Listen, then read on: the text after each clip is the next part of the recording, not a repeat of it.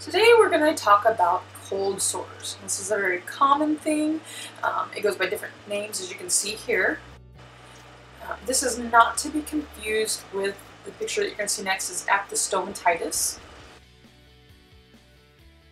Now here's a table that shows some differences between the two and also some similarities.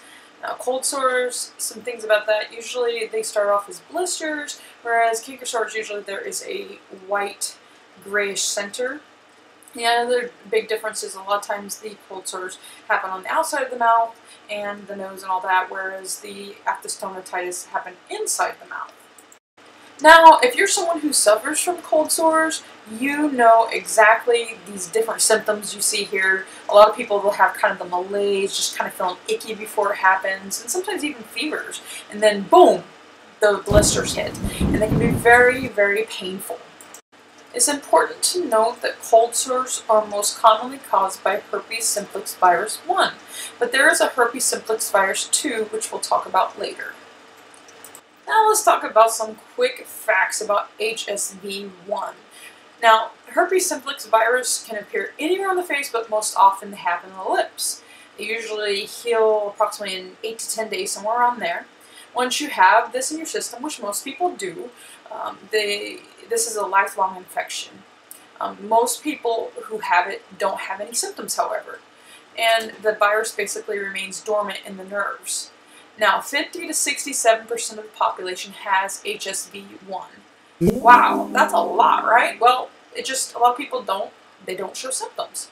Now, the important thing to note is that oral, uh, oral herpes can spread to the genital areas as well. Uh, so typically when we think of genital herpes, that's usually typically caused from HSV2. Now usually these this can be confirmed with a viral culture like a PCR, and that's one of the best ways to do it, but there are other ways as well. I wanted to show some comparisons between uh, herpes simplex virus 1 and herpes simplex virus 2.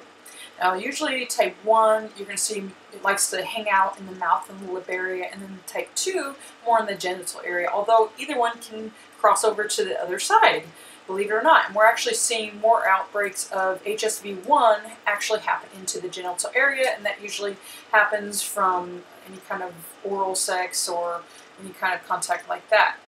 Now, the recurrence of genital herpes is less likely from the uh, less likely due to the HSV type 1, and usually more the outbreaks of the genital herpes is um, more frequent in HSV2. So that's important to note.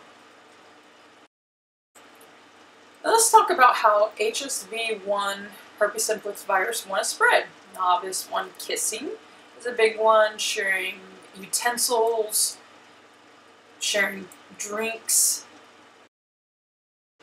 Important thing to remember um, that HSV1 usually happens on the lips and the mouth, and HSV2 usually the genitals, although they can swap places. That's important to remember. Now let's talk about some precipitating factors. Uh, some of the ones that are really common, stress, trauma, hormonal changes like period, sun exposure, and illness. And finally, let's talk about some treatment options. Now, over-the-counter topicals is something that's pretty popular. Lysine is actually something that I really like. It's actually up and coming. There's some thought that lysine actually helps to, to prevent replication of the herpes simplex virus.